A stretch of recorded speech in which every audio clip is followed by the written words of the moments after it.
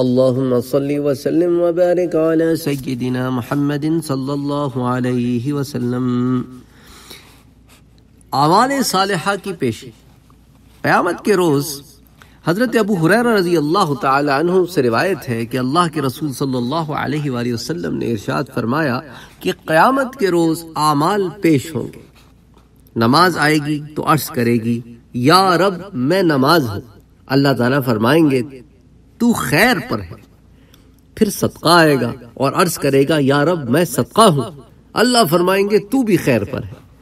پھر روزہ پیش ہوگا اور عرض کرے گا کہ، یا رب، میں روزہ ہوں۔ اللہ فرمائیں گے، تو بھی خیر پر ہے۔ پھر اور اعمال بھی اسی طرح پیش ہوں گے۔ تو اللہ فرمائیں گے، تم خیر پر ہو۔ پھر اسلام پیش ہوگا اور عرض کرے گا کہ، یا رب، آپ سلام ہے اور میں اسلام ہوں۔ تو اللہ عز و جل فرمائیں گے، تو خیر پر ہے، تیری وجہ سے میں آج گرفت کروں گا اور تیری ہی وجہ سے عنایت کروں گا۔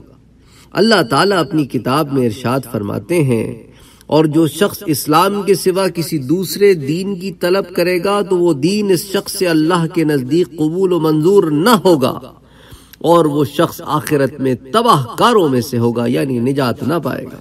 تو اس روایت کو امام احمد نے اس کا اخراج کیا ہے۔